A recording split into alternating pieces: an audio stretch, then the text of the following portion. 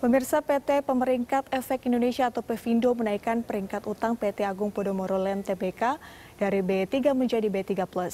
Pevindo menaikkan peringkat perusahaan dengan kode saham APLN tersebut setelah perseroan memperoleh persetujuan dana untuk percepatan pelunasan utang. Pevindo menilai risiko pembiayaan kembali dan likuiditas Agung Podomoro terkait pinjaman akan berkurang pada tahun ini melalui percepatan pembayaran utang yang akan dilakukan Agung Podomoro.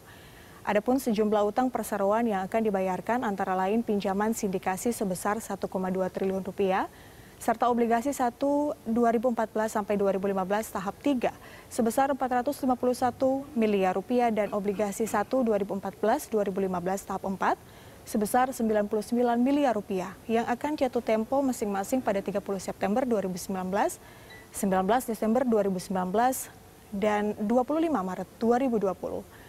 Agung Podomoro sendiri telah mendapatkan dana dari SSG Capital Management LTD senilai 127 juta dolar Amerika dan uang muka pemegang saham senilai 800 miliar rupiah yang akan digunakan untuk membayar kembali utang perseroan.